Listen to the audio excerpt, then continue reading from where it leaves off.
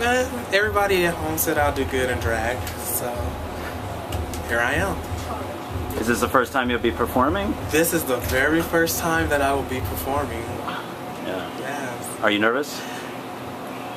Excited, more than nervous. So it's a good and it's a good thing for me. It lets me see what I can do, and I'm pushing my best.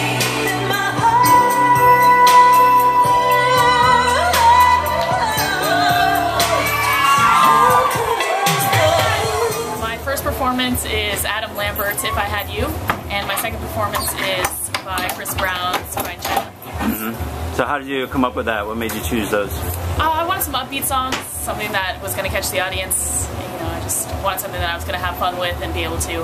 If I wasn't going to feel entertained by the song, then I know nobody else is going to.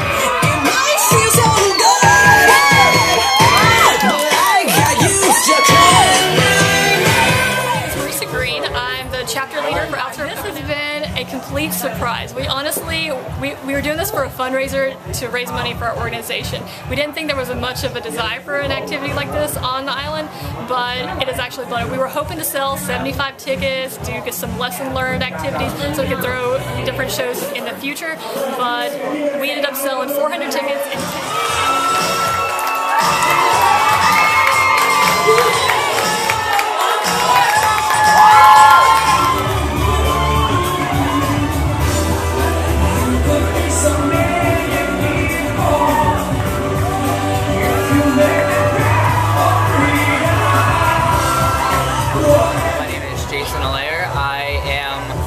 sergeant in the Air Force, and I am the co-chapter leader of the Outserve Okinawa organization. It's quite loud out there, and it seems like there's a lot of people here, and everybody seems very excited for this. Um, we've been having people ask on a daily basis for tickets.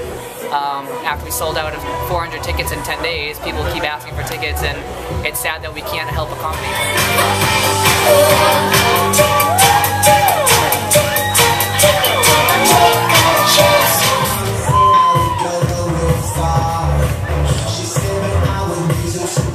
I tip my wig to you. Oh, hi. Oh, you're recording. Never mind.